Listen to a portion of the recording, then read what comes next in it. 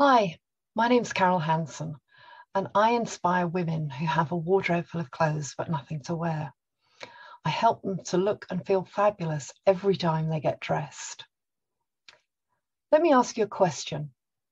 How often have you convinced yourself that you've got the skills and expertise to do a particular thing that you're not doing and that you will get round to it? You just need the time to put it into practice.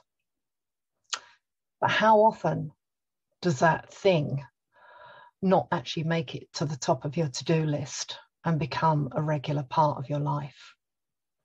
Hands up, I've been there. And I was doing exactly that with video. I'd got out of the habit of doing video, um, either pre recorded or doing live videos. And I was making every excuse under the sun not to do it, even though I knew it would be good for my business. So finally I acknowledged it and recognized that I needed some outside help. That it wasn't that I didn't know how to do it, although we can always use some extra tips and techniques. And let's face it, the technology is always changing, particularly on social media and video. So it's always good to have some advice from people who are right in the know and have a real interest in what those changes are. I needed those nuggets. But more than that, I needed that regular accountability, that focus, and also being part of a program, that support group around me of others who were doing exactly the same thing. Some of them further ahead in their video journey, others struggling a bit like me. So I signed up to a program that's going to help me to become more productive when it comes to video. And already I'm proving it. I've done about four or five live videos, I've done some pre recorded videos, and let's face it, I've got my video mojo back. So, why am I telling you this? It's not to encourage you to get on video, and especially not if you're not feeling comfortable about it or it's not relevant to what you do.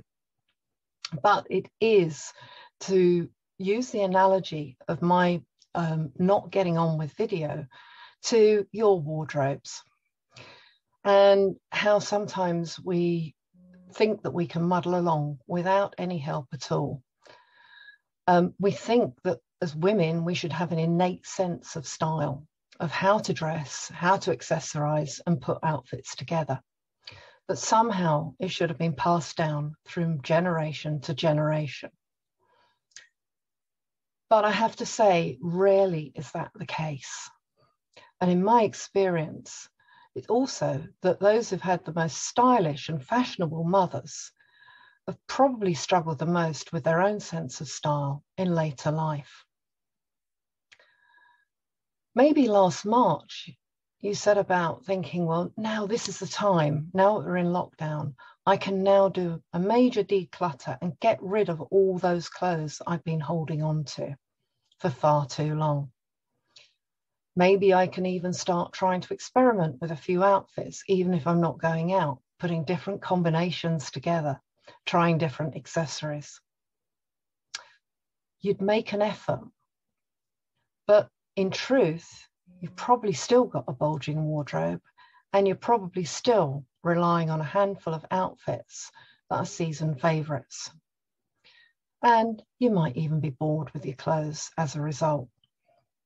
So, how do you break this cycle? Well, you need a plan, a plan to get out of it, a plan with regular advice, focus, and tips, with encouragement and support from me and from other people. Whenever you get dressed, so that you feel and look amazing. And the good news is Stay tuned because I've got a major announcement coming next week about just that. That's Carol Hanson helping you to look and feel fabulous every time you get dressed.